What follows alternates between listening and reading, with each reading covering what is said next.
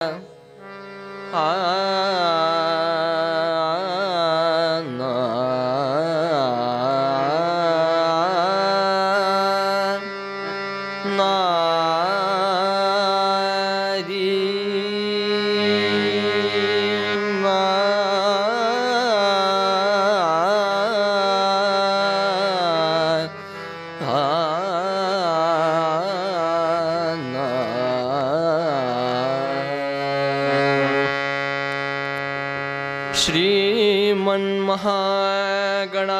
श्रीमन्महागणाधिपतये नमः श्रीसरस्वत्यै नमः श्रीकुलदेवतायै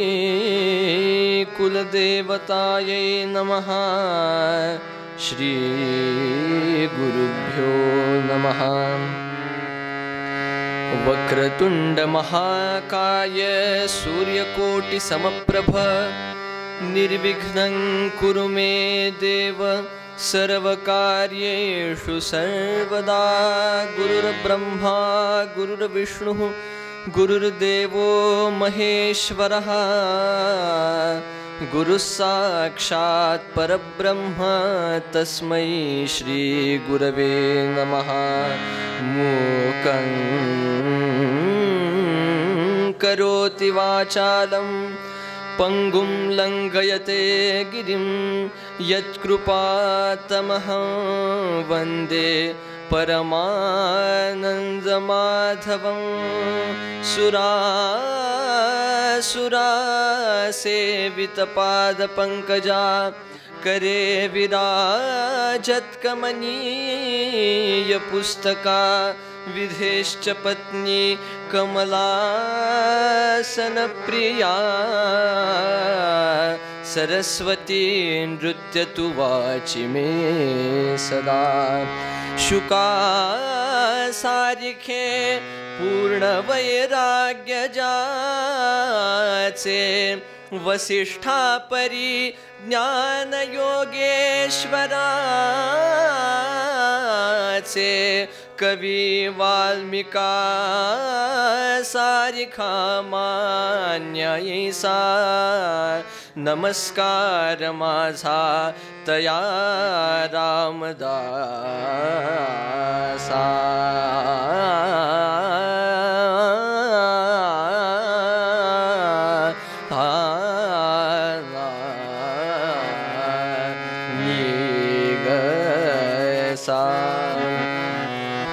जय जय जय जय राम कृष्ण हरि। राजा राम। जय जय जय जय राम कृष्ण हरि। जय जय जय राम कृष्ण हरि। राजा राम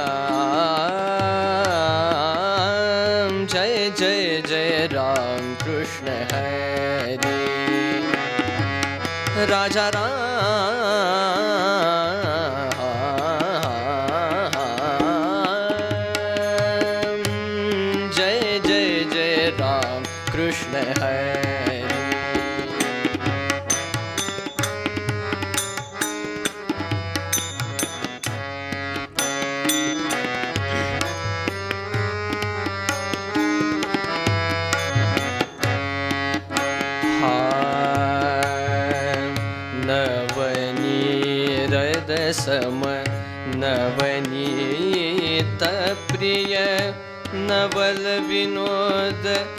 हाँ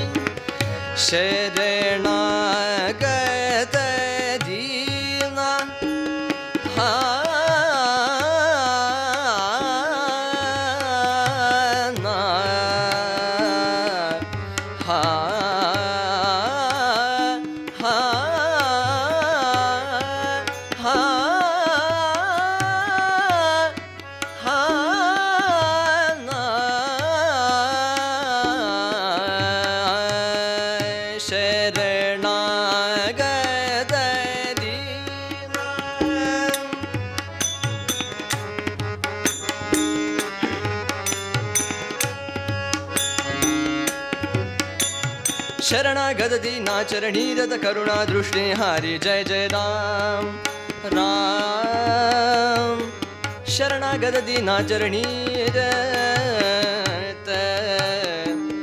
हा। शरणागत दीनाचरणी रथ करुणा दृष्टीनि हारी जय जय राम। राम शरणागत दीनाचरणी रथ करुणा दृष्टीनि हारी हारी जय जय राम। शरणागत दीना चरणी रथ करुणा दृष्टि निहारी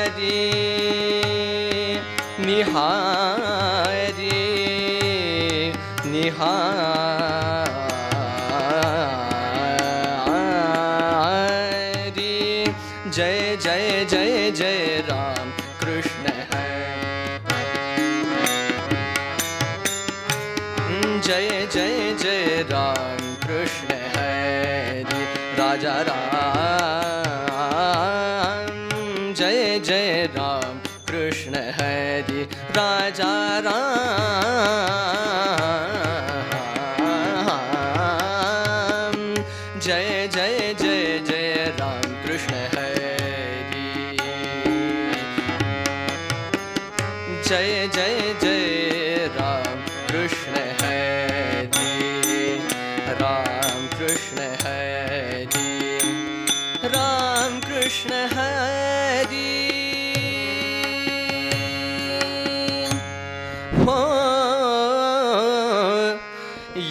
कृष्णातिरिचा वसणाऱ्या यरे कृष्णातिरिचा वसणाऱ्या कृष्णा कृष्णातिरिचा वसणाऱ्या ये कृष्णातिरिचा वसणाऱ्या ये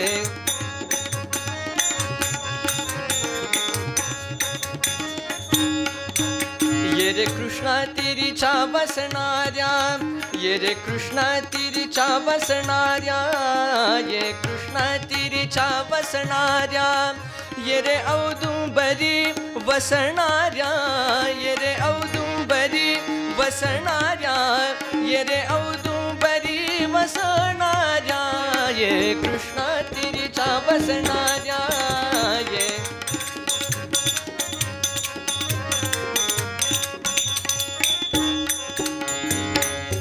काशायांबर ये काशायांबर घेणाऱ्या ये काशायांबर काशायांबर काशायांबर घेणाऱ्या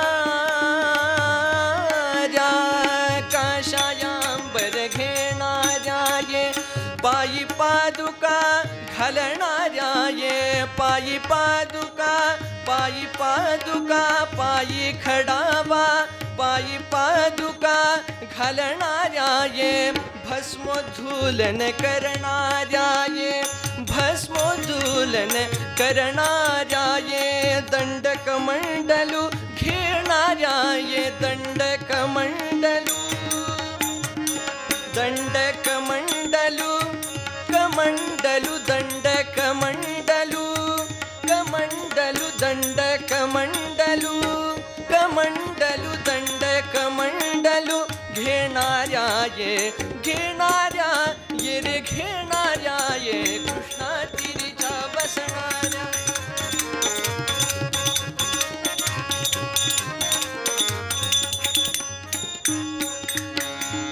स्वभक्त संगे स्वभक्त संगे असणाऱ्या रेमपणी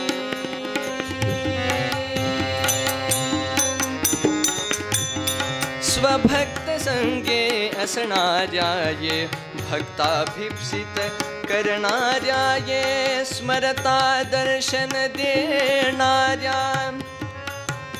स्मरता दर्शन देनारा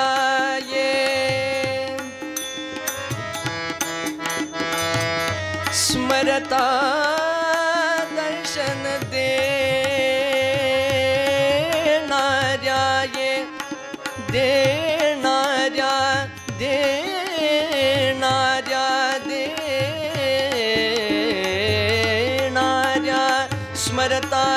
दर्शन देणाऱ्या.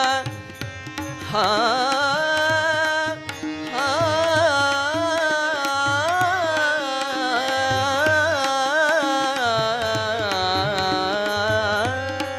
ये स्मरता दर्शन देणाऱ्या स्मरता दर्शन देणाऱ्या देणाऱ्या देणाऱ्या.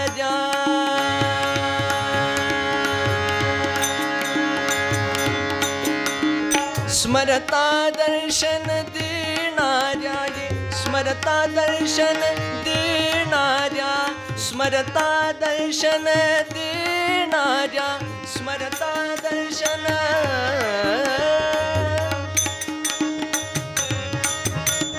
स्मरता दर्शन स्मरता स्मरता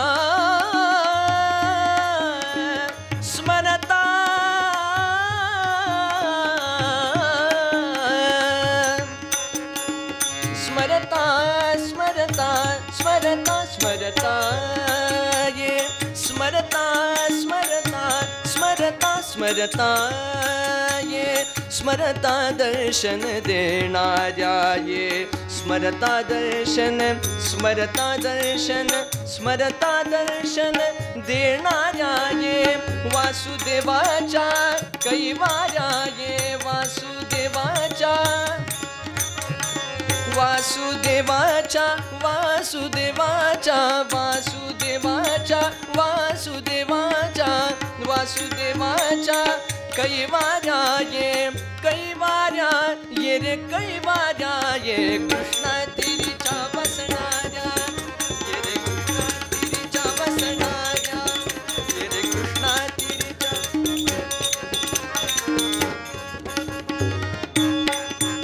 ये रे औदुंबरी वसणाऱ्या ये रे औदुंबरी वसणाऱ्या ये रे औदुंबरी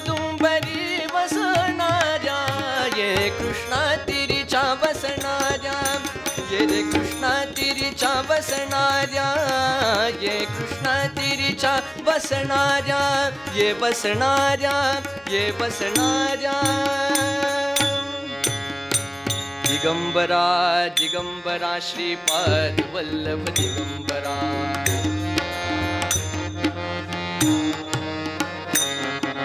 दिगंबरा दिगंबरा श्रीपाद वल्लभ दिगंबरा.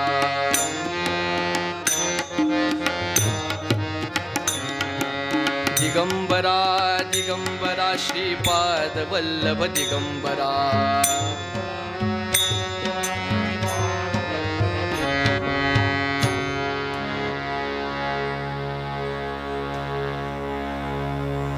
मी एकटाच आहे. माझा आवाज तुमच्यापर्यंत येतो व्यवस्थित. ते काय आहे? आधीच पावसाचं वातावरण. मी मराठवाड्यातला माणूस. एवढा पाऊस पहिल्यांदाच बघतोय. कान बंद पडलाय वरून फेटा बांधलेला आहे तुमचा आवाज मला येतच नाहीये.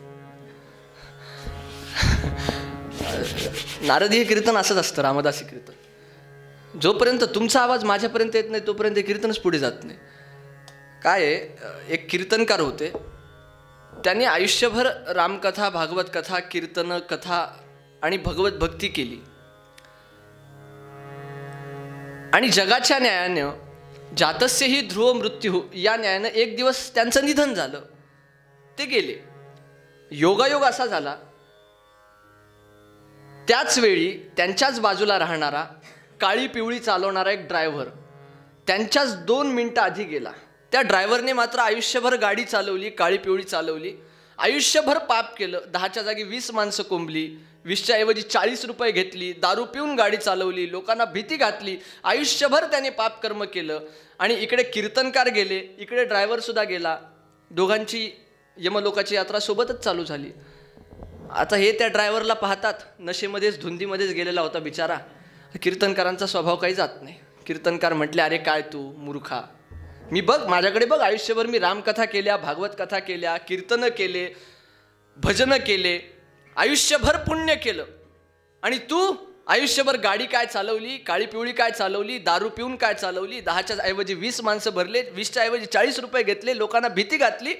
तुला बघ नक्की नरक मिळणार आणि मला स्वर्गातली जागा मिळणार. तू लक्षात ठेव. आता ड्रायव्हर नशेतच होता. तो म्हणलं बघू काय होईल ते. असं करत करत ते यमलोकाच्या त्या यात्रेपर्यंत पोहोचले. यमदरबार समोर उपस्थित होते. इथे कॅमेरा लावलेला असतो बघा आपल्या. चित्रगुप्त. तो आपली पापपुण्याची यादी वाचून दाखवत होता. लोक ठरवत होता.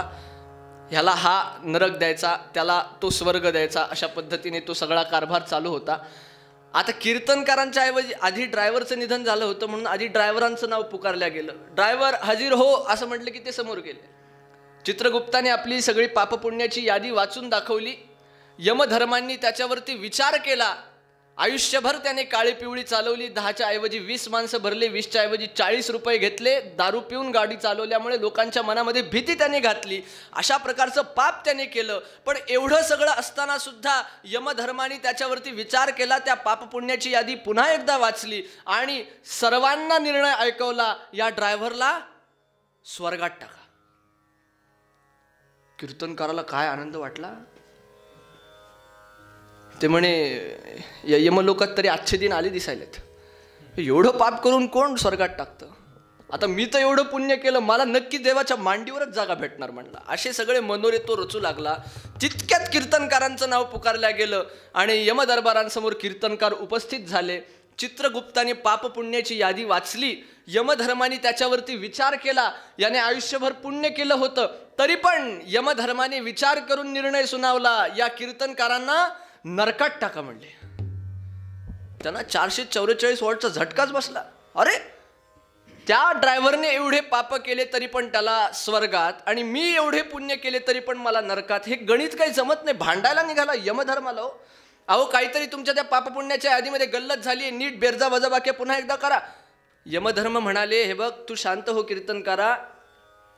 पापपुण्याच्या यादी तिकडचं तिकडं तिकडचं इकडं करायला मी काय बँकेतला क्लर्क नाही आहे यमधर्म आहे. हो. काय?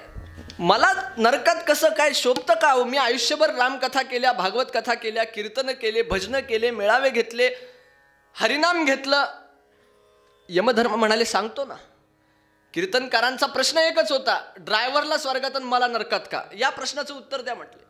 यमधर्म म्हणाले मी त्या प्रश्नाचं उत्तर देतो. आता ऐक तुला मी भूतलावरती पाठवलं कशासाठी होतं? स्वतः कीर्तन केलेस मान्य स्वतः भागवत केलेस मान्य पण लोकांकडून नाम वदवून घ्यायला तुला भूतलावरती पाठवलं होतं ते काय तुझ्याच्यानी झालं का? नाही तू स्वतःच नाम घेतलंस. तू स्वतःच भगवंताचं नाम घेतलंस. लोकांना संधीच दिली नाहीस. आणि त्या ड्रायव्हरला त्याचं काही प्रयोजन नव्हतं. तो आपला पापपुण्याच्या हिशोबाने भूतलावरती गेला होता. तरी पण त्याच्याकडनं पुण्य असं घडलं मान्य तो दारू पिऊन गाडी चालवायचा मान्य दहाच्या ऐवजी वीस लोक कोंबायचा पण हा दारू पिऊन गाडी चालवतो आणि गजागज गाडी भरलेली आहे. अशा प्रकारची भीती त्या लोकांमध्ये निर्माण व्हायची आणि म्हणून तो रामाचा धावा करायचे ते लोक देवा मला माझ्या घरी व्यवस्थित पोहोचव. रामा रामा मला माझ्या घरी व्यवस्थित पोहोचव. त्याला त्या कामासाठी पाठवले नसून सुद्धा त्यांनी रामनाम वदवून घेतलं लोकांकडून. आणि तुम्हाला त्या कामासाठी पाठवलं होतं पण तुम्ही स्वतःच घेतलं. तुम्ही लोकांकडून वदवून घेतलं का? नाही. त्याकरिता तुम्हाला नरकात आणि त्याला स्वर्गात श्रोते मायबाप हो मी सुद्धा एक कीर्तनकारच आहे बरं का. एक ना एक दिवस सगळ्यांनाच जायचंच असतं. डेस्टिनेशन तेच असतं माणसाचं शेवटचं. त्याच्यामुळे तुमच्यासाठी नाही पण माझ्यासाठी का होईना मला आवाज येईल. आणि त्या रामरायाला आवाज जाईल. एवढं माणसाने आपण भजन करूया. हा समर्थांचा दरबार आहे. समर्थ एका दारी भिक्षेला उभा राहिल्यावर दुसऱ्या गल्लीतली बाई येऊन भिक्षा घेऊन यायची. माझ्याच दारात आले काय की एवढा खडा आवाज त्यांचा होता. निदान त्यांच्यापर्यंत आपला आवाज पोहोचेल एवढ्या भक्तिभावाने. आणि एवढ्या मधुर पण मोठ्या आवाजात आपण भजन करूया. हाय दिगंबरा दिगंबरा श्रीपाद वल्लभ दिगंबरा.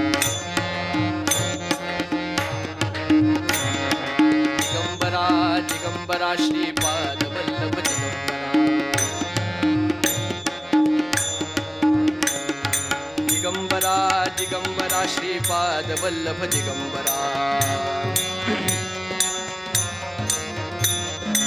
दिगम्बरा। दिगम्बरा श्रीपादवल्लभ दिगम्बरा।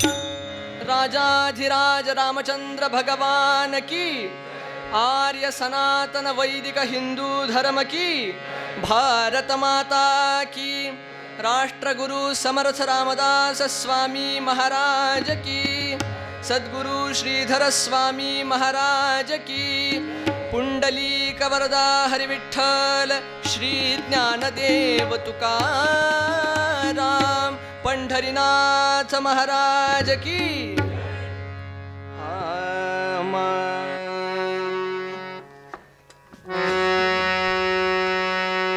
स्वामी काज गुरु भक्ती स्वामी काज गुरु भक्ती पितृवचन सेवापती पितृवचन सेवा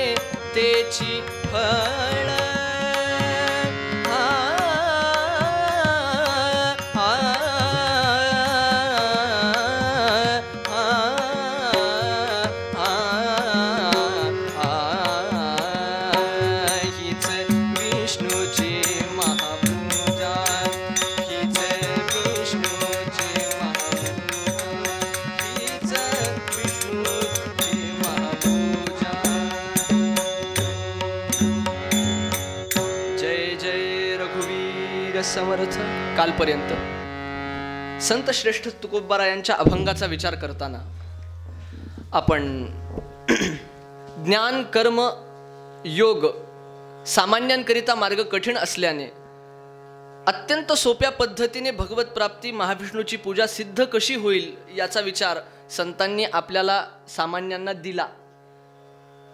त्यापैकी कोणाकोणावरती भाव ठेवून भक्ती केल्यानंतर आपल्याला भगवत प्राप्ती सहजरित्या होईल सोपेपणाने होईल सुलभत्वाने होईल याचा विचार करताना स्वामी काज या पदाचा आपण विचार काल करून आलेलो आहोत. आता पुढची सांगितली गुरुभक्ती.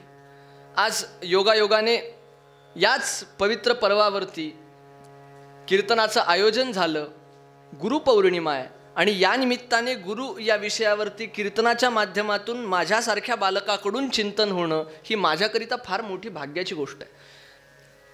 गुरुभक्ती या विषयावर किती म्हणून बोलावं? फार व्यापक विषय. समर्थांनी दासबोधामध्ये भरपूर काही गुरुभक्तीविषयी लिहून ठेवलंय. वेगळे समाज सुद्धा आहेत.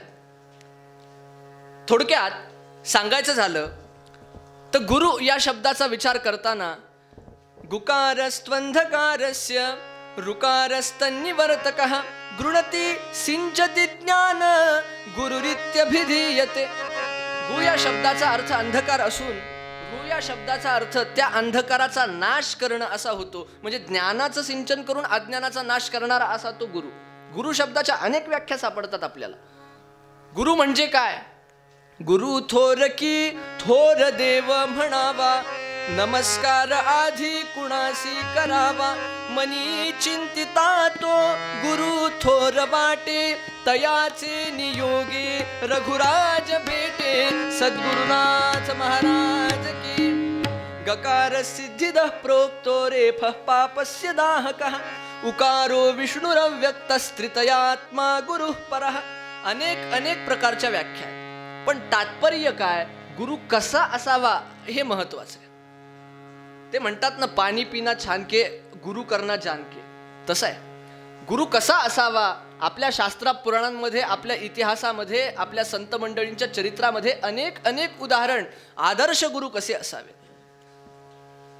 वित्त घेणारे गुरु भरपूर पाहिले पण चित्त हरण करणारे गुरु अल्प आहेत. एक फार सुंदर सुभाषित आहे. गुरवो बहव संती शिष्य वित्तापहारका गुरवो विरला संती शिष्य चित्तापहारका असे भरपूर गुरु झाले जे शिष्याचं फक्त वित्त हरण करतात चित्त नाही. पण असे विरळे गुरु आहेत कमी गुरु आहेत दुर्लभ गुरु आहेत जे शिष्याचं चित्त हरण करतात. तात्पर्य गुरूंचा वेश कसा असावा इथपासून गुरु कसा असावा हे ठरतं. राम राम राम सज्जनगडच्या बाहेर गेल्यानंतर पाश्चात्य संस्कृतीचे शिक्षक कम गुरु पाहिल्यानंतर नसलेलं चित्त अपहरण होतं माणसाचं. आजकालच्या शिक्षकांचे गुरूंचे वेश एवढे भयानक झालेत. काय असतं? पायात बुट्ट त्याच्यावर जीन्सची पॅन्ट त्याच्यावर ब्लॅक बेल्ट अंगात टी शर्ट हां. टी शर्टवर जॅकेट जॅकेटात पाकेट पाकेटात दोन हजाराची कडक नोट गळ्यात लॉकेट तोंडात सिगारेट मिशाला चॅट डोक्यावर हॅट आणि एकूण सगळं गणित केल्यावर दिसतो बावळ. जय जय रघुवीर गुरूंचा वेश कसा असावा इथपासून आपली संस्कृती आपलं शास्त्र सुरू होतं सांगतं. मनोहर वेश असावा. ज्याने शिष्याचं चित्त हरण व्हावं अहो वेश कसा असावा जेव्हा निवृत्तीनाथ ब्रह्मगिरीची परिक्रमा करत असताना खऱ्या अर्थाने त्यांना वाट गवसली आणि ते अंजनी पर्वताच्या गुहेमध्ये गेले तेव्हा ते जे गहिनीनाथ ध्यानस्थ त्यांना दिसले पाहताच शिष्याचं चित्त हरण झालं हो. पाहताच त्यांना ध्यान लागलं आणि त्यांना कळून चुकलं की हे माझे सद्गुरू आहेत. वेश असावा असा. की ज्याने शिष्याचं चित्त हरण व्हावं आकृष्ट व्हावं आणि सद्गुरूंच्या ठिकाणी त्याचं चित्त लीन व्हावं. गुरुगीतेमध्ये सांगितलंय गुरुभक्तीचा एक प्रकार असा की सद्गुरूंच्या विग्रहाचं चिंतन झालं पाहिजे. पण विग्रहाचं चिंतन होण्याकरिता वेश धड पाहिजे ना गुरूंचा? अशी गोष्ट आहे. त्यामुळे गुरु कसे असावेत याचे अनेक उदाहरण सापडतात हो. एका व्यापक दृष्टीने आपण विचार करायचा झाला तर मला एक गोष्ट सांगा. माणसाचं सगळ्यात मोठं कल्याण या मनुष्य जीवनामध्ये आल्यावर कशा ते मला सांगा? एका भगवत प्राप्तीमध्ये एका त्या अद्वयानंद वैभवाच्या प्राप्तीमध्ये माणसाच्या जीवनाचं कल्याण आहे. आणि त्याच्यातच माणसाच्या जीवनाची इति कर्तव्यता आहे. मनुष्य जन्माचं इति कर्तव्यताच ती आहे. मनुष्य जन्म आहे कशाला? मनुष्य जन्म फक्त धावपळीला इकडे तिकडे फिरण्याला पळण्याला कामधंद्याला एवढ्याला नाहीये. अहो मनुष्य जन्म हा एकच आहे असं धरून चाललं तर माणसाला भगवत प्राप्ती होण्याची वाट आहे. संत म्हणतात मनुष्य जन्म हा मुद्दल आहे मुद्दल. मुद्दल कळतं का? आपण जर व्याज घेणार असू तर तो सावकार आपला मुद्दल देतो. त्याच्यावरती आपण व्याज देऊन त्याला ते परतफेड करायचे असते. तसं मनुष्य जन्म हा मुद्दल आहे आणि या मनुष्य जन्मामध्ये येऊन आपण भगवत प्राप्ती नाही केली तर त्याचा काही उपयोग आहे का सांगा? जन्मा येऊनी काय केले तुवा मुद्दल गमाविले असं संत सांगतात ना? देवाने आपल्याला कशासाठी पाठवलंय? मला येऊन मिळण्यासाठी तुला पाठवलंय. हाच देवाचा उपदेश आहे हाच देवाचा संदेश आहे. गुरूंची आवश्यकता जीवनामध्ये कशासाठी असते लक्षात घ्या. मनुष्य जन्मात येऊन माणसाचं एकम एव ध्येय ते म्हणजे भगवत प्राप्ती. पण ती भगवत प्राप्ती व्हायची असेल तर ती गुरूंशिवाय शक्य नाही. त्याला गुरुचं लागतो. गुरूंचंच मार्गदर्शन लागतं. श्रीमदाद्य शंकराचार्यांनी शिवापराध क्षमापन स्तोत्रामध्ये एक फार सुंदर गोष्ट आणि एका वाक्यात गुरूंचं नितांत महत्त्व सांगितलं. ते म्हणतात आयुर्नश्यति पश्यताम प्रतिदिनम याति क्षय यौवनम प्रत्यायांती गता पुनर्न दिवसा कालो जगत भक्षक लक्ष्मीस्तोय तरंग भंग चपला विद्युच्चलं जीवितं तस्मान् मां शरणागतं शरणदत्वं रक्ष रक्षाधुना।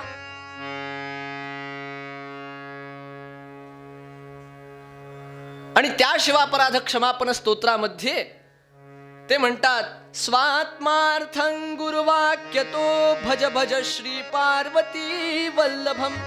कशासाठी? गुरुवाक्यत भज भज श्री पार्वती वल्लभम किमर्थम स्वात्मार्थम स्वात्मा आत्म्याच्या कल्याणासाठी मनुष्य जन्माच्या इति कर्तव्यतेकरिता म्हणून सद्गुरूंना भजायचं असतं. कारण सद्गुरूंशिवाय गत्यंतर नाही. मागा झाले थोर थोर संत महंत मुनीश्वर तयांसी ज्ञानाज्ञान विचार सद्गुरूंचे नी असं समर्थ रामदास स्वामी दासबोधामध्ये सांगतात. ज्ञानाज्ञानाचा विचार सद्गुरूंशिवाय प्राप्त होत नाही.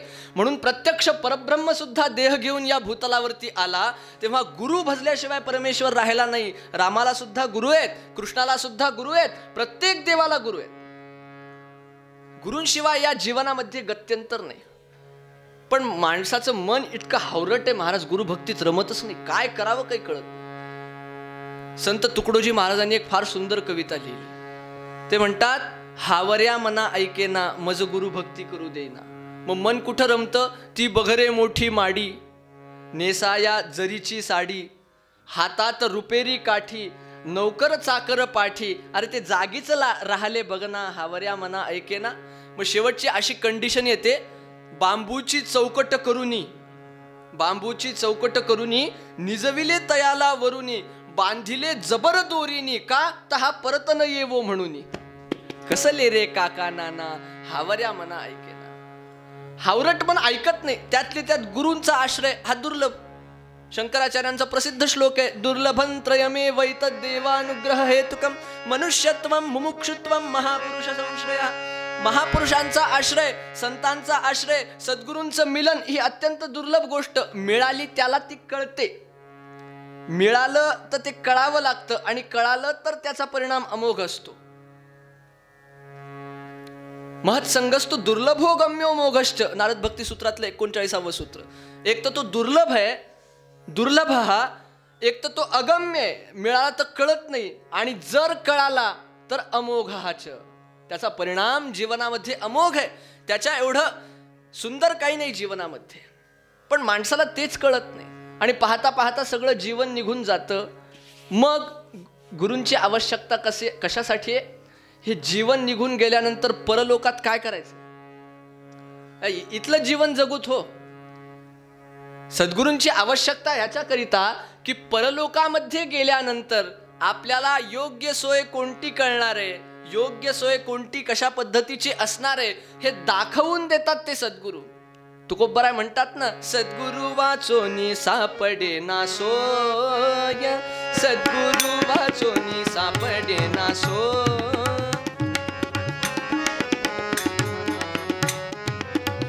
सद्गुरु वाचोनी सापडे ना सोय. धरावे ते पाय आधी आधी. वेते पाय आधी आधी. सद्गुरु वाचोनी सापडे ना सोय. सद्गुरु वाचोनी सापडे ना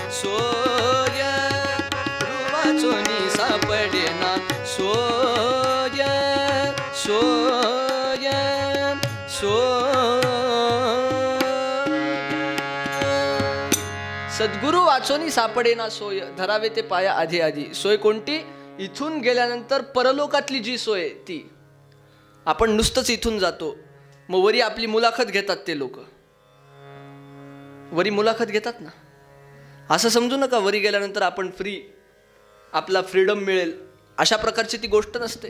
तिथे डेस्टिनेशन असतं ना तिथे इंटरव्ह्यू घेतात आणि तिथे जर आपण पास झालो तर आपली व्यवस्था चांगली होते. नाहीतर नरकात नेऊन फटके देतात बाकी काही होत नाही.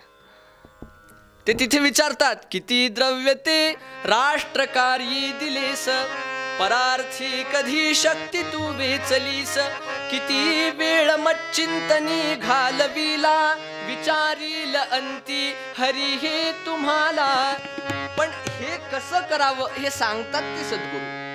आयुष्यभर सगुणाच्या आधारे निर्गुण पावे निर्धारे ही उक्ती मनुष्य जीवनामध्ये सार्थ करणं हे मनुष्य जन्माचं आद्य कर्तव्य त्या अद्वयानंद वैभवाची प्राप्ती करवून घेणं हे मनुष्य जन्माचं आद्य कर्तव्य त्यात मनुष्य जन्माची इति कर्तव्यता. पण ते कशा पद्धतीने आणि किती सुलभ पद्धतीने आपल्याला पार करता येईल हे सांगतात ते सद्गुरू आहेत. याच्यासाठी सद्गुरूंची महत्ता आहे.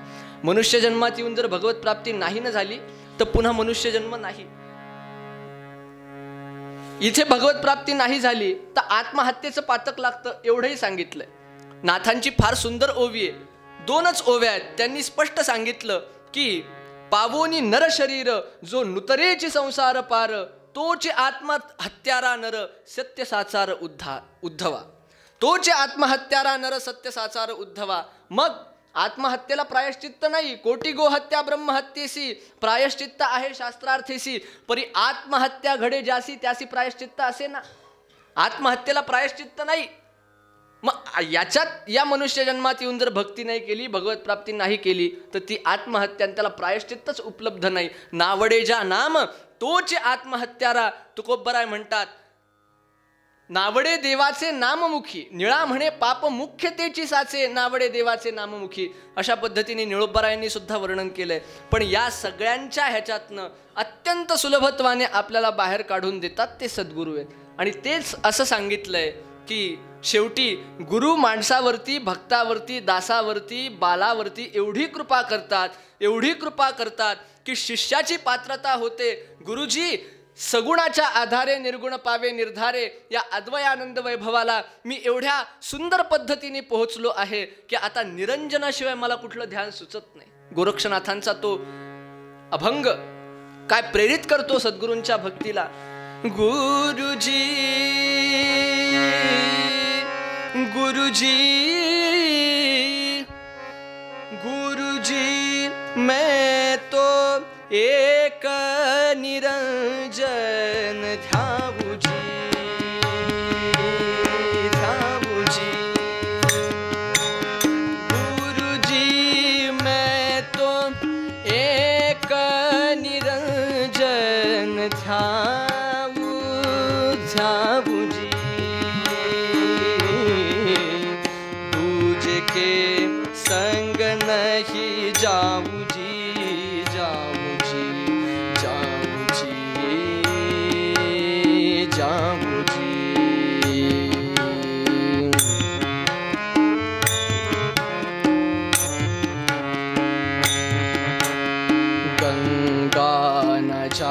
जी जमुना ना जाऊँ जी मैं ना कोई तीरथ नाऊँ जी ना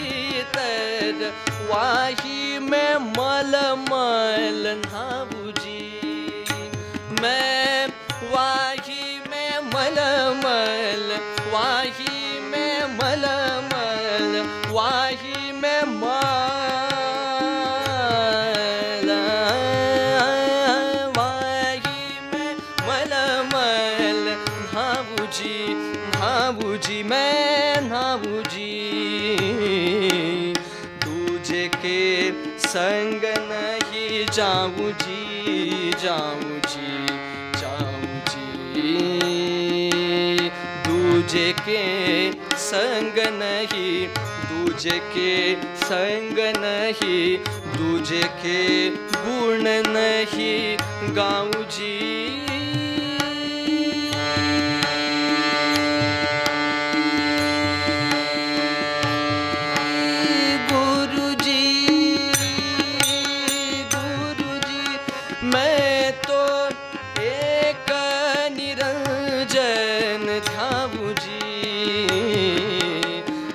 तुझे के संग नहीं जाऊँ जी जाऊँ जी। तुझे के संग नहीं जाऊँ जी जाऊँ जी। दूजे के संग नहीं जाऊँ जी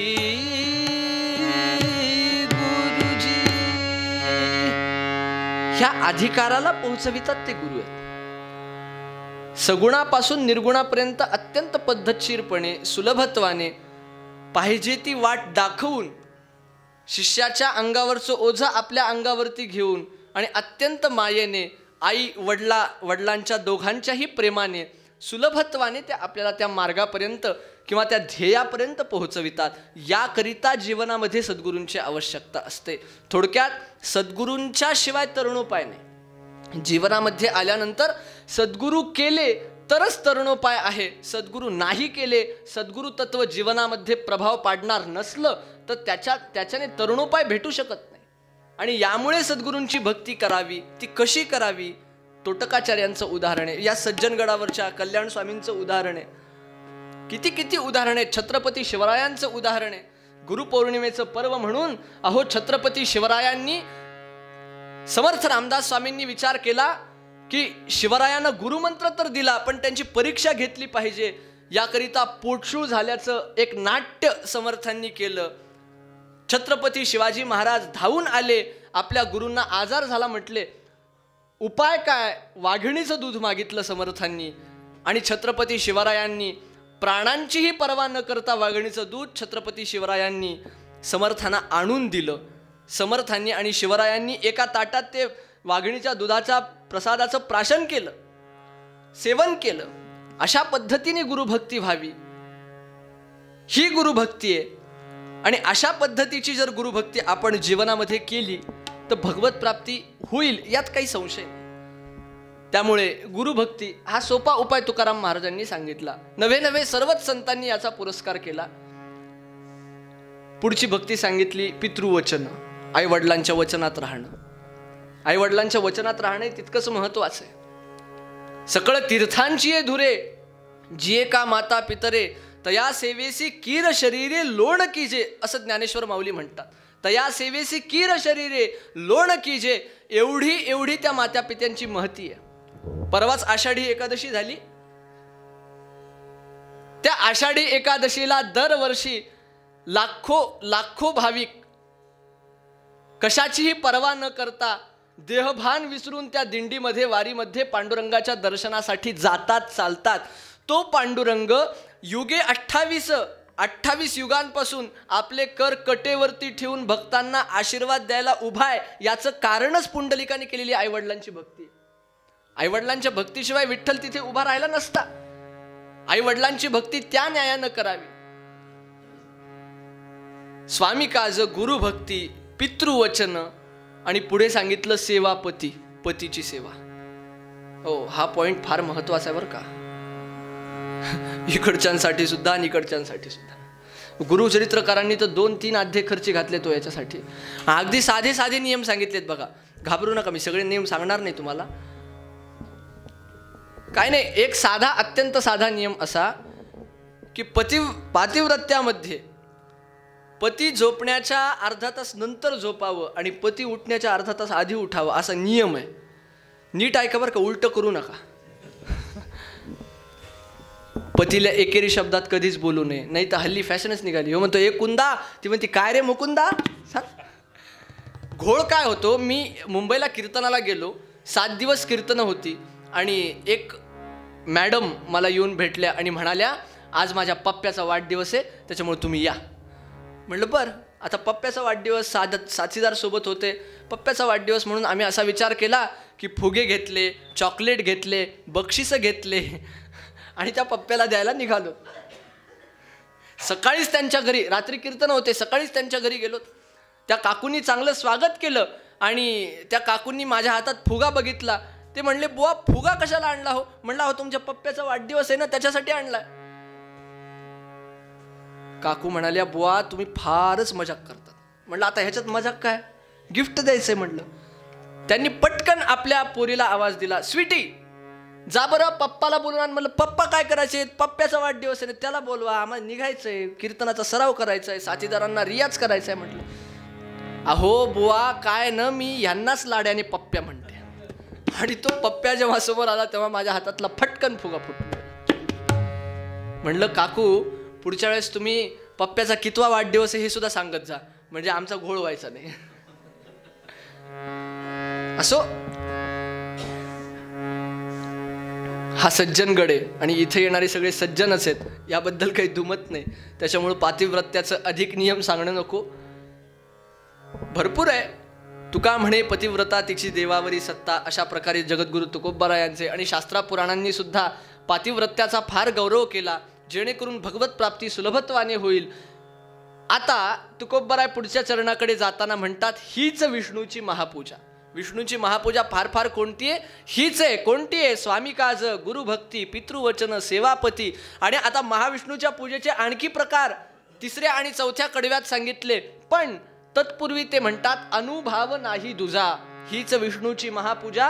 अनुभाव नाही दुजा. या अनुभाव शब्दाला कधी कधी गल्लत होते. पण अनुभाव या शब्दाची व्याख्या अशी की अनुपश्चात भवंती भाविना इथे अनुभाव. हा म्हणजे अनु अनु म्हणजे काय? स्वामी काज गुरुभक्ती पितृवचन सेवापती. आणि भाव या शब्दाचा अर्थ पुढच्या चरणांमध्ये जी भक्ती सांगितली या सात भक्ती मिळून कोणतीही त्यापैकी एक जरी केली तरी पण भगवत प्राप्ती होणारच आहे याबद्दल संशय नाही. आता त्या पुढच्या तीन भक्त्या कोणत्या? तर त्या म्हणतात ते म्हणतात सत्य बोले मुखे.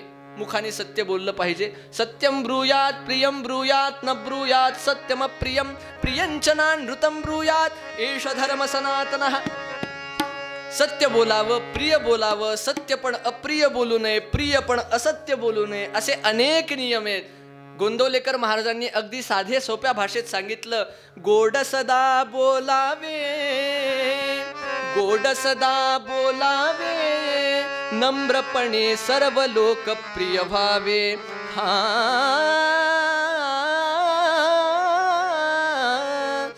गोड सदा बोलावे नम्रपणे सर्व लोकप्रिय व्हावे हाची सुबोध गुरूंचा हाची सुबोध गुरुंचा. मन कोणाचे कधी न दुखवावे? रामा रामा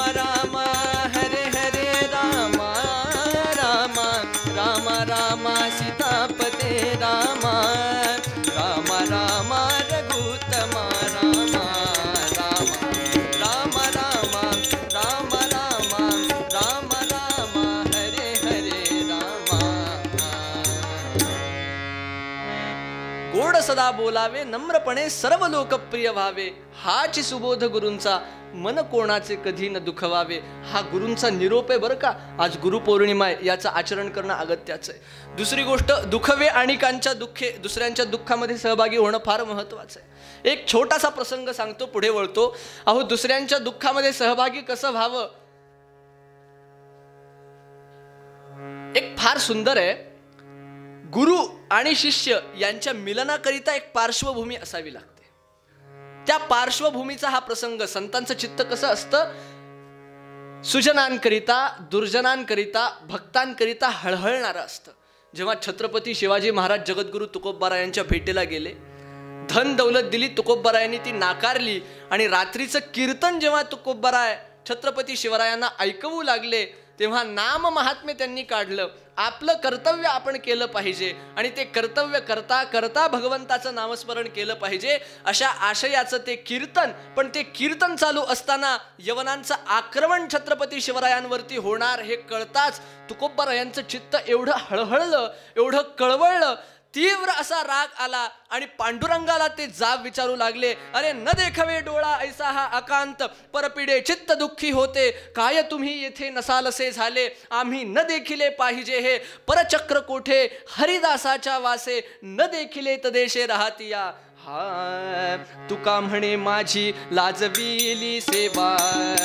तुका म्हणे माझी लाजविली सेवा. न पडे देवा जिने झाले तुका म्हणे माझी लाजविली सेवा.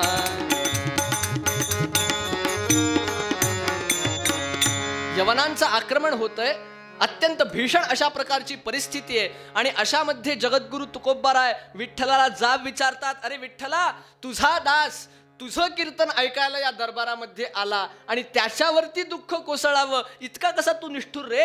अरे प्रल्हादा कारणे नरसिंह झालासी त्याची या बोलासी सत्य केले. रामकृष्ण गोविंद नारायण हरी गरजे राजत्वारी भक्तराज विठ्ठल माधव मुकुंद केशवा तेने दैत्यराव दचकला. मग आता याच वेळी तू कुठे निघून गेलास? आत्ता तुझी गरज आहे. ते काहीही असो तू जरी आला नाहीस तू जरी आम्हाला दूर लोटलंस तरी पण आम्ही तुला काही सोडायला तयार नाही. फुटो हे मस्तक तुटो हे शरीर नामाचा गजर सोडू नये नाशिवंत देह झाला जरी भंग तरी कीर्तन रंग सोडू नये. आणि अशा पद्धतीने पांडुरंगाला या अभंगाचे कडे चरण ऐकवून जगद्गुरु तुकोब्बारा यांनी नामस्मरणाला सुरुवात केली.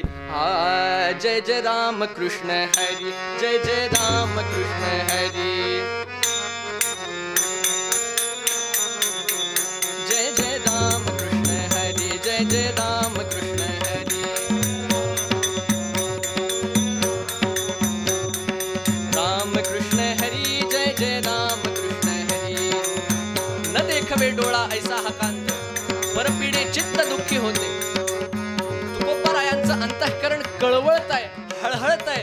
अशा परिस्थितीमध्ये जेव्हा यवनांचं आक्रमण त्या मंदिरावरती झालं त्या पांडुरंगाच्या मंदिरावरती झालं छत्रपती शिवरायांवरती यवन चालून आले तेव्हा तुकोबारायांच्या नामस्मरणाचा परिणाम असा की तिथे उपस्थित प्रत्येक भक्त त्या यवनांना छत्रपती शिवाजी महाराज दिसू लागला.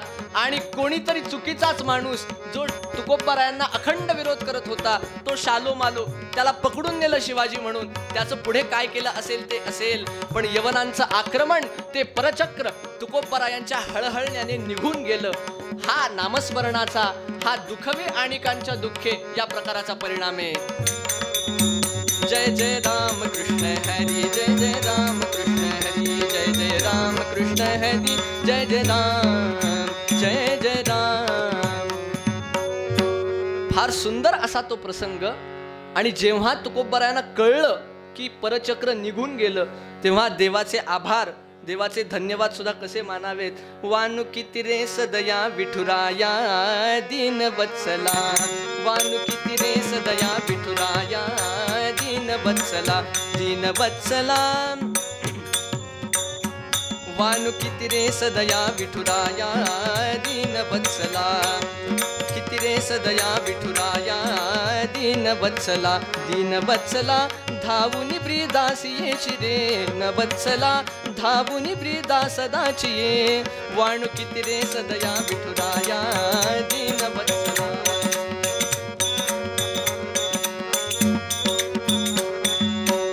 अमृतची हे ओळले कृष्ण रूपडे देखियले अमृतची हे ओळले.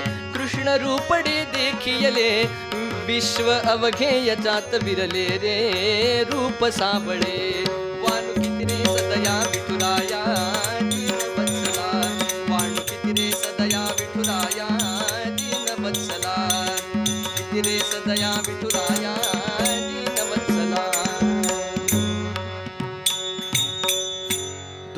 आणिकांच्या दुःखे हा प्रकार काय असतो हे तुकोबारायांकडनं शिकावं. आणि मग पुढे शिवरायांना गती मिळावी शिवरायांना प्रेरणा मिळावी याच्याकरिता तो अभंग तुकोबारायांनी लिहून दिला. राया छत्रपती ऐकावे वचन रामदासी ध्यान लावावे की रामदास स्वामी सोयरा सज्जन त्यासी तू नमन अर्पी बापा. सज्जनांची भेट व्हावी दुःख निघून जावं याकरिता दुखवे आणिकांच्या दुःखे. हा तुकोबरायांनी एक भक्तीचा प्रकार सांगितला. म्हणजे दुसऱ्यांच्या दुःखामध्ये सहभागी होणं हा एक भक्तीचा प्रकार आहे. हे आपल्याला ठाऊकच नाही. दुसऱ्यांच्या सुखामध्येही सहभागी होत नाही दुसऱ्यांच्या दुःखामध्येही सहभागी होता येत नाही. दुसऱ्यांना सुख झालं की आपल्याला दुःख होतं दुसऱ्यांना दुःख झालं की आपल्याला सुख होतं. ही फार खेदाची गोष्ट आहे. त्यामुळे दुखवे आणिकांच्या दुःखे आणि नंतर निश्चयाचे बळ निश्चय केला कुठल्याही गोष्टीचा निश्चय करावा त्या पद्धतीने फळ मिळतं. या सात भक्ती बरं का? स्वामी काज गुरुभक्ती पितृवचन सेवापती निश्चयाचे बळ त्यानंतर दुखवे आणिकांच्या दुःखे आणि सत्य बोले मुखे. या सातपैकी कोणतीही एक मन लावून केली भावाने केली सद्भावाने केली आणि अखंड न खंड पडता अचल निश्चल सदैव अशा वृत्तीने केली तर भगवत प्राप्ती होते यात संशय नाही. आणि म्हणून आपण ते निष्ठावंत भावाने केलं पाहिजे तुकोबरा हेच आपल्याला पूर्वरंगामध्ये प्रतिपादन करतात वेळ झालाय बराच त्यामुळे पूर्वरंगाचं पद्य घेऊन उत्तर रंगात एक छोटंसं आख्यान पाहूया आणि कीर्तनाला विराम देऊया स्वामी काज गुरु भक्ती पितृवचन सेवा सेवापती स्वामी काज गुरु भक्ती पितृवचन सेवापती।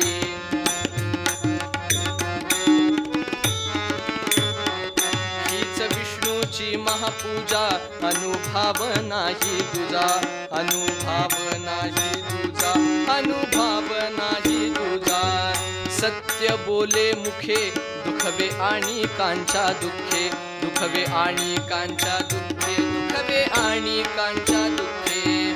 निश्चयाचे बळ तुका म्हणे तेची फळ तुका म्हणे तेची फळ तुका म्हणे तेची फळ तुका म्हणे तेची फळ तुका म्हणे तेची फळ. पंढरीनाथ भगवान की जय. मध्यंतराचं भजन करून उत्तरंगाकडे जाऊया.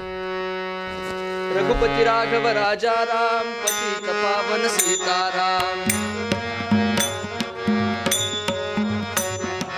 रघुपती राघव राजा राम पती तपावन सीताराम रघुपती राघव राजा राम पती तपावन सीताराम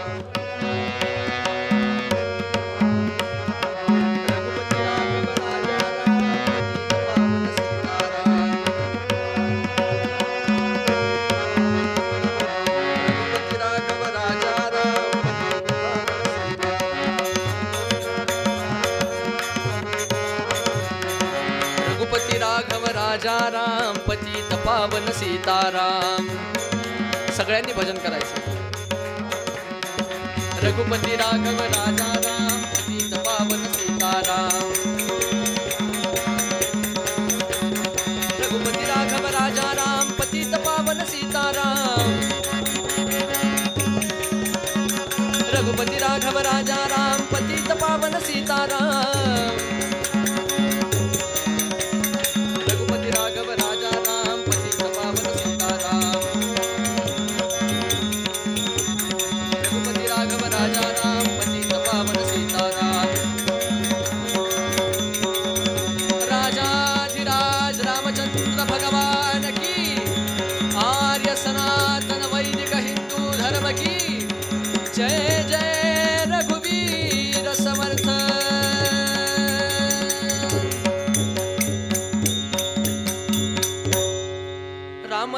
सद्गुरु राया रामदास सद्गुरु राया धन्य तव माया धर्म रक्षाया घेतला कलियुगी अवतार घेतला कलियुगी अवतार. रामदास सद्गुरु राया धन्य तव माया धर्म रक्षाया घेतला कलियुगी अवतार. कंठी धरी येला कीर्तीचा हार. शिष्य ज्याचा झाला जिजाऊ ज्याचा झाला बाळजी जी जी जी जी जी.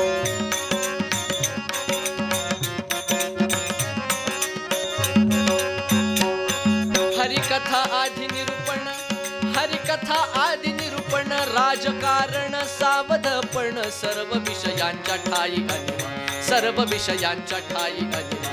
हेच स्वराज्याचं दार शानदार बंधुनो स्मरा त्यांचे उपकार जी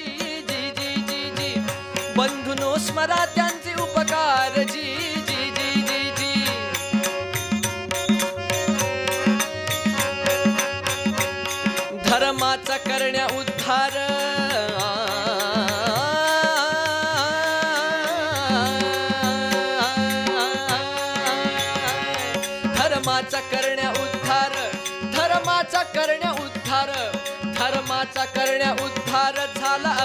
अवतार आला यतीवर म्हणती जन रामदास चिरकाळ. म्हणती जन रामदास चिरकाळ रामाचा दास काळाचा काळ असा हा राणूबाईचा बाळ.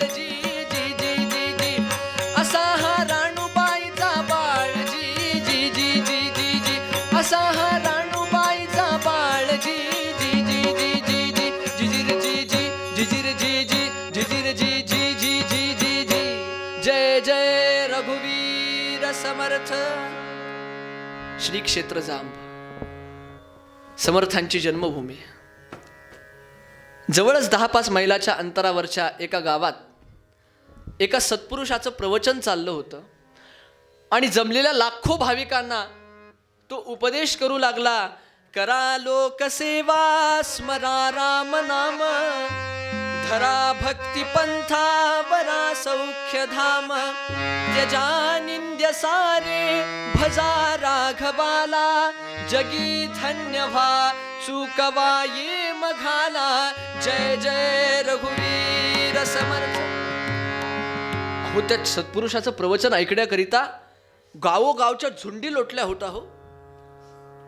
त्या सत्पुरुषाचं तेज अलौकिक होतं. दिव्य भानू भूतली जणू उदेला. दिव्य भानू भूतली जणू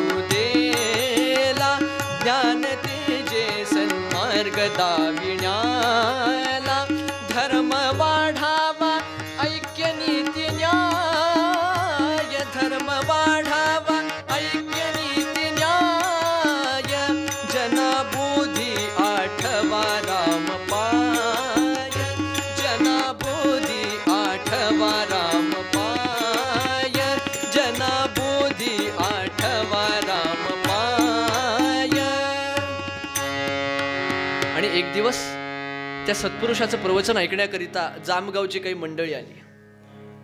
आणि त्या सत्पुरुषाकडे पाहून ती मंडळी आपापसात कुजबुजू लागली.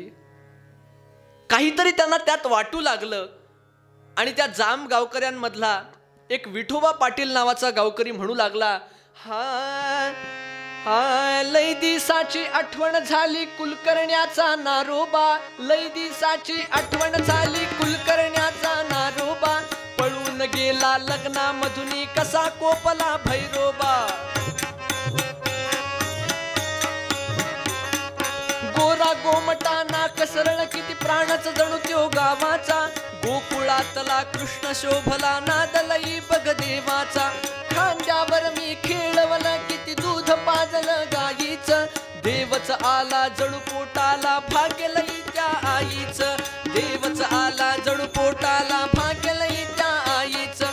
नशीब फिरलं पोर पळाल गती कशी ही कर्माची? नशीब फिरलं पोर पळाल गती कशी ही कर्माची? धाय मोकलुनी मायरड तसे झाली आंधळी जन्माची.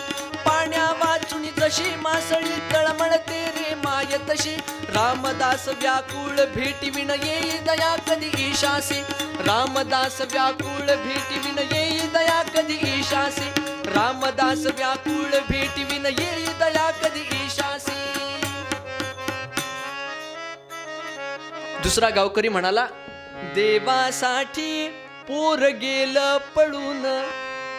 कोणालाही नाही आलं कळून. नारोबाही साधू झाला असेल. देवा आम्हा केधवा तो दिसेल.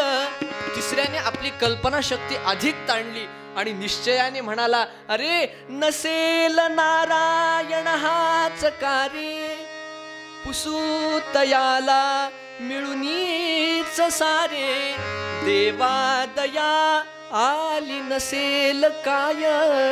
माता बिचारी करी हाय हाय. प्रत्येक जामगावच्या गावकऱ्यांमधल्या प्रत्येकाच्या डोळ्यांमध्ये अश्रू धारा लागल्या. चंद्रोदयाच्या वेळी समुद्राला जशी भरती येते ना त्याप्रमाणे त्यांच्या अंतःकरणामध्ये आनंदाच्या उर्मी उसळू लागल्या. अरे हाच आपला तो पळून गेलेला नारोबा असावा. आणि त्यांनी प्रत्यक्षच याबद्दल समर्थांना विचारण्याचं ठरवलं. आणि श्रोतृवर्गातली ही खळबळ समर्थांना लक्षात आली. आहा हा कोण आनंद झाला समर्थांना? जन्मभूमी माझी माय. जनता रूपे दिसले पाय. वत्स प्रेमे धावे गाय तैसी आली भेटाया।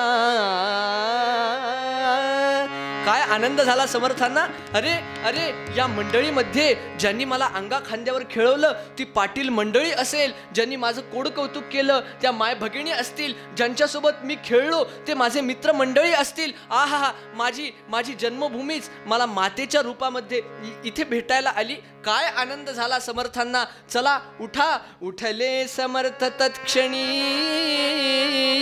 जोडोनी हात विनविती सकला साशंकन मनी भावे साशंकन मनी भावे नारायण मीच तो असे आपुला हे शब्द ऐकले मात्र समर्थ म्हणाले अहो चिंता करू नका तुमचा नारायण मीच आहे काय आनंद झाला त्या गावकऱ्यांना तो आनंद शब्दामध्ये काय वर्णावा? कंठ गही वरला अश्रुपूर आला कंठ गही वरला अश्रुपूर आला पोटी धरिले भेटले समर्थाला पाठीवरुनी फिरविती हात प्रेमे पाठीवरुनी फिरविती हात प्रेम.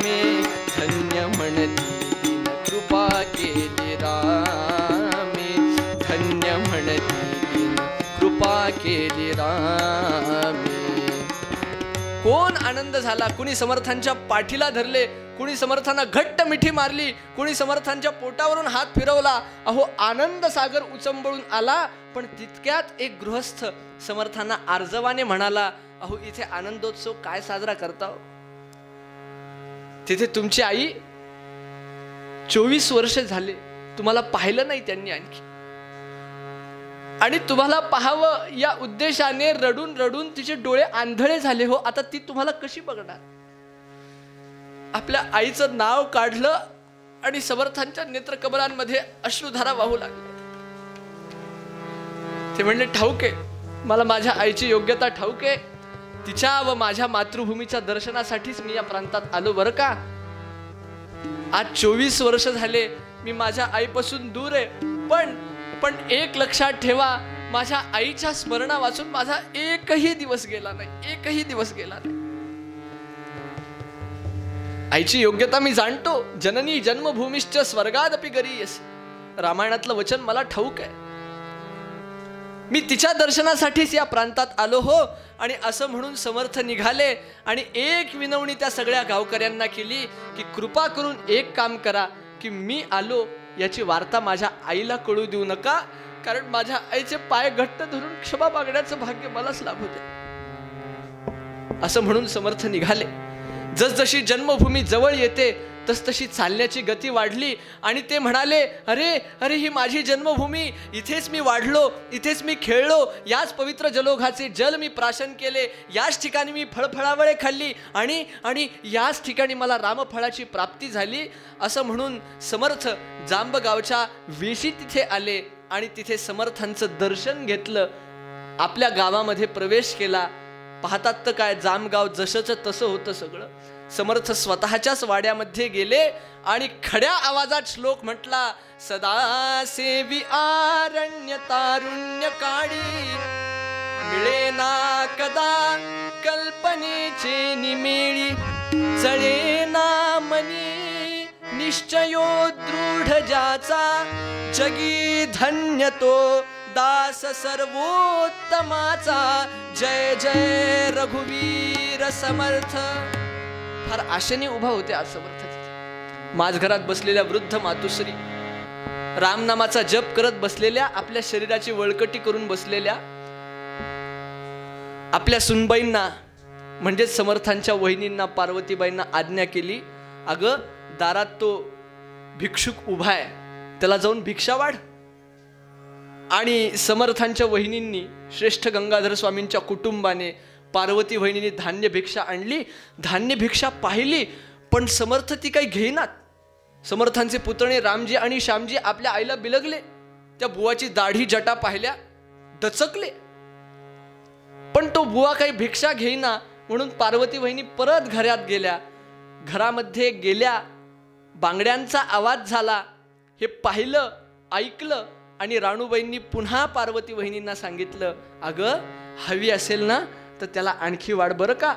माणसाने धर्म करीत असावं आणि लक्षात ठेव याच धर्माच्या बळावर मला माझा मुलगा भेटणार आहे मला माझा पुत्र भेटणार चोवीस वर्ष झाले मी त्याला पाहिलं आपल्या मातुश्रींची आज्ञा वहिनींनी ऐकली पुन्हा धान्य भिक्षा घेऊन गेल्या. तरी पण समर्थ काही घेईनात. आणि समर्थ म्हणाले अहो एवढी धान्य भिक्षा एवढूशी धान्य भिक्षा घेऊन जायला मी काही परका गोसावी नव्हे हो. भिक्षा ही न लगे पसा मुठ मला नाही भुकेला तिचा. जायाचे न तुझ्या कुठे स्थळी मला आहेच मी येथीचा. गेलो सोडून गेह माऊली तुला शोकारणवी लोटुनी पापी पुत्र आला करा क्षमा करितया प्रार्थी करा जोडुनी. हे शब्द समर्थांचे ऐकले आणि सगळी उत्सुकता एकवटून राणूबाईंनी आवाज दिला. अरे कोण? कोण माझा नारोबा आला का ग? माझा नारोबा आला? माझा नारोबा आला? नारायणाने शब्द ऐकले आई आई मी तुझाच नारोबा ग. मी आलो. मी आजपर्यंत राणूबाईंनी हजार वेळा हा प्रश्न सर्व गोसाव्यांना विचारला होता. पण आज त्यांना मनाजोगतं उत्तर मिळालं. राणूबाई उठल्या धडधडत्या शरीराने मिणमिणत्या डोळ्यांनी थरथरत्या हाताने भिंतीचा आधार घेत घेत त्या माझघरापर्यंत पोहोचल्या. इकडे समर्थाने वहिनीला बाजूला सारलं. समर्थ माझघरापर्यंत पोहोच पोचले आपल्या आईची अवस्था पाहिली ढसढसा ढसढसा समर्थ रडले आपल्या मातुश्रींच्या चरणी साष्टांग प्रणाम केला आणि म्हणाले आई आई मला कुठली धान्य भिक्षा नको मी क्षमेची भिक्षा मागायला आलोय ग मला क्षमेची भिक्षा राडूबाईंनी प्रेमाचा हंबरडा फोडला नारायणा! अरे नारायणा कुठे गेला होतास रे एवढे दिवस? कुठे गेला होतास?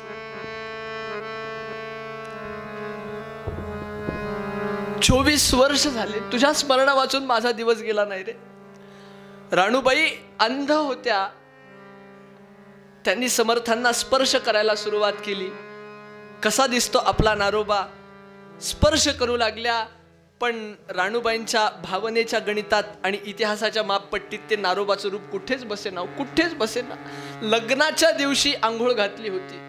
त्यावेळचे त्याचे ते कोवळे कोवळे दंड त्या दंडांनी आता पोलादाचं रूप धारण केलं होतं.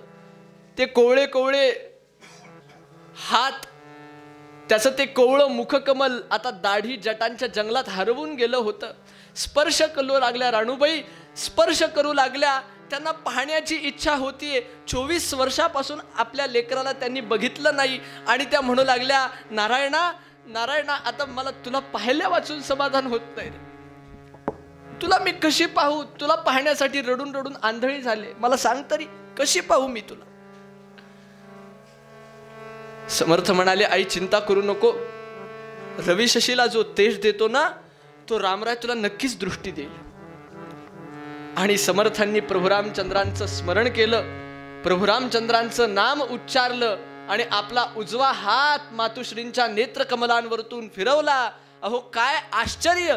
जणू तपतेजच तिच्या नेत्री गेले हस्तस्पर्शे तपतेज नेत्री गेले.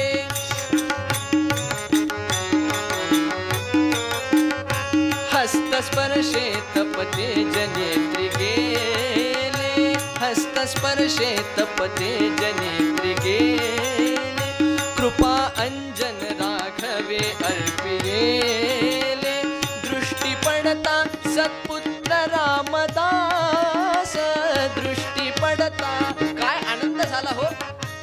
इतिहासातला तो क्षण आहे. दृष्टी पडता दृष्टी पडता सत्पुत्र रामदास दृष्टी पडता. आहा ते नारोबाचं रूप काय आश्चर्य वाटलं. सानी सारे नि सा नि ध नि ध पद म प ग म प ध सा नि रे. म प ग रे सा सारे. रे म प ग रे सा नि सा नि ध नि प ध म प सा म रे प म प नि ध नि सा रे. वृष्टिपणता सत्पुत्र रामदास हर्षमावेना पुरलि सर्व आस। हर्षमावेना पुरलि सर्व आस। हर्षमावेना पुरलि सर्वम्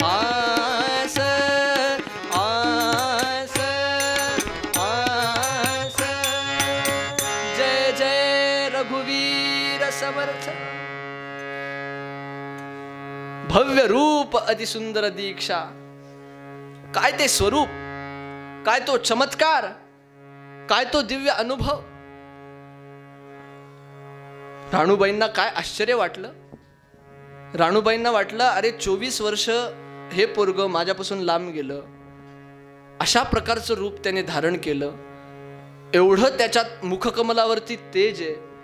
आणि ज्या अर्थाने त्यांनी रामाचं एकदा नाव घेतलं माझ्या डोळ्यावरून हात फिरवला आणि मला दिसायला लागलं. काही भूत भूत तर प्रसन्न केलं नाही ना ह्याने? राणूबाईंनी विचारलं अरे ना नारोबा कोणतं भूत प्रसन्न केलंस रे? मला तरी सांग. तेव्हा आपल्या आईकरता फार सुंदर अशा प्रकारच्या एका अभंगाची रचना समर्थांनी केली.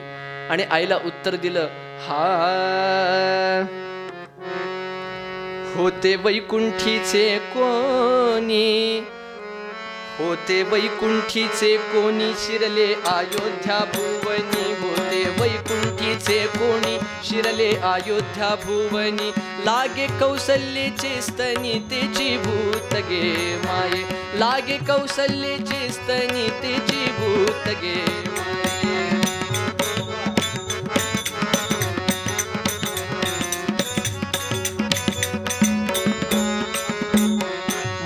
जाता वनांतरी पाय पडला दगडावरी. मार्गी जाता वनांतरी पाय पडला दगडावरी. पाषाणाची झाली नारी तिची भूत गे माये. पाषाणाची झाली नारी तिची भूत गे माये. सर्वा भूतांचे हृदय नाव त्याचे रामराय. सर्व भूतांचे हृदय नाव त्याचे राम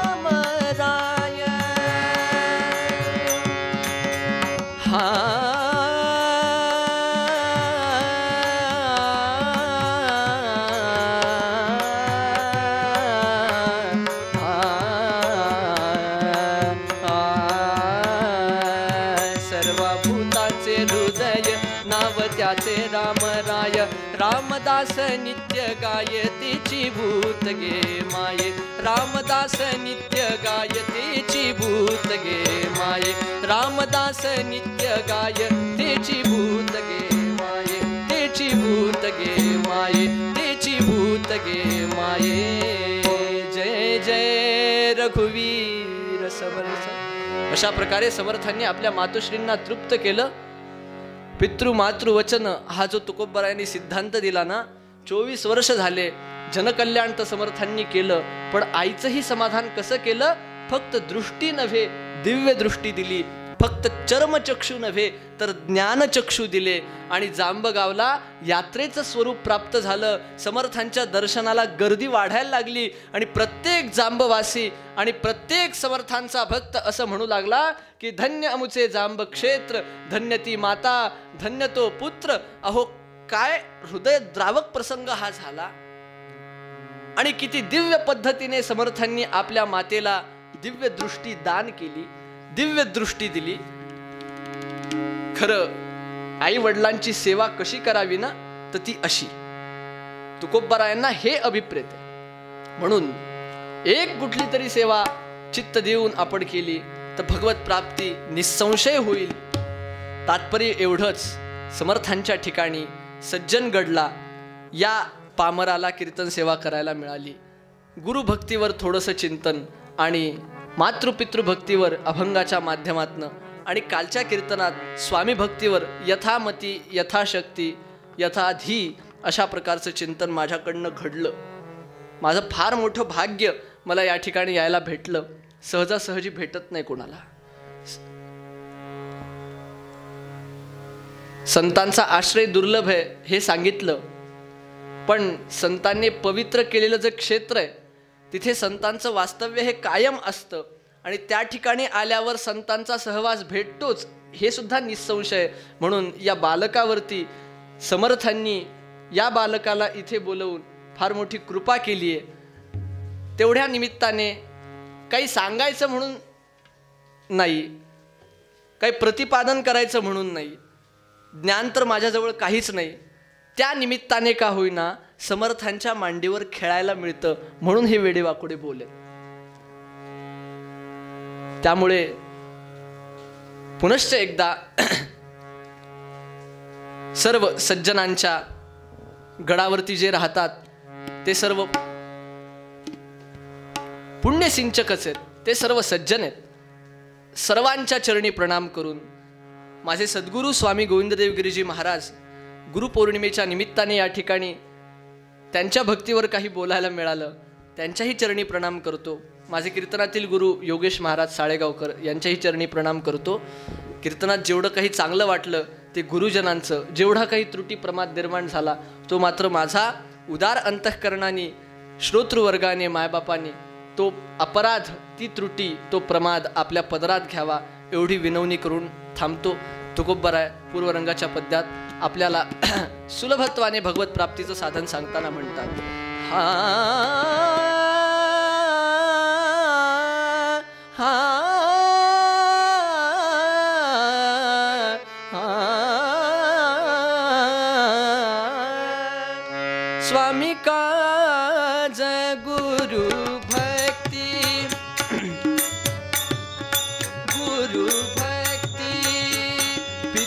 पितृवचन सेवापती पितृवचन सेवापती. हीच विष्णूची महापूजा महापूजा. हीच विष्णूची महापूजा महापूजा. हीच विष्णूची महापूजा महापूजा.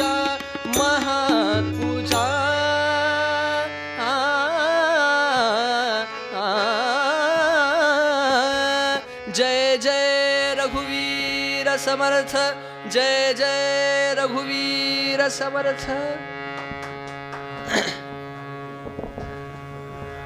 ह्याची दान दे का आरती?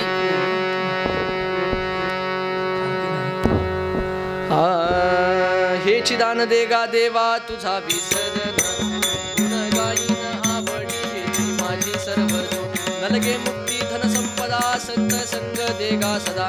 गुण गाईन आवडी हेची गर्भवासी सुखे खालावे आम्हासे गुण गाईन आवडी हेची माझी सर्व जय जय राम कृष्ण हरी जय जय राम कृष्ण हरी जय जय राम कृष्ण हरी जय जय राम कृष्ण जय जय राम कृष्ण हरी जय जय राम कृष्ण जय जय राम कृष्ण हरी जय जय राम जय जय राम जय जय राम पुंडली कवरधरी विठ्ठल श्री